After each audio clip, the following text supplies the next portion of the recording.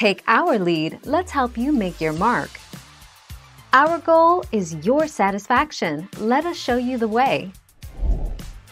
To that effect, the Christmas lights also symbolize the stars, particularly the Star of David, that appeared in Bethlehem the night Christ was born.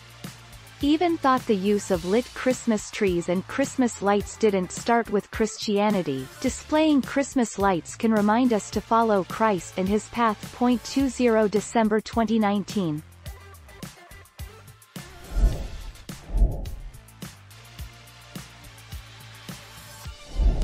Let's help you make your mark. The Christmas star symbolizes the Star of Bethlehem, which according to the biblical story, guided the three kings, or wise men, to the baby Jesus. The star is also the heavenly sign of a prophecy fulfilled long ago and the shining hope for humanity.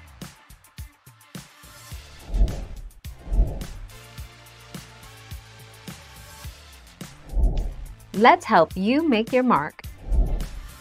Theodore Roosevelt Around the Internet, there are innumerable articles about how Theodore Roosevelt banned Christmas trees in the White House because of environmental concerns, only to then have one of his sons rebel and install a small tree, much to his father's surprise. 1 December 2019.